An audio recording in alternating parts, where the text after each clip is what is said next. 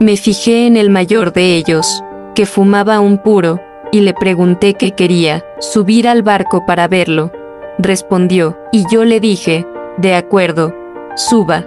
Estaba subyugada. Fidel desprendía una fuerza seductora enorme. Él me preguntó dónde estaba mi camarote. Una vez allí, tras abrir la puerta, me empujó al interior, me atrajo hacia sí y me abrazó. Ese fue mi primer beso con un hombre.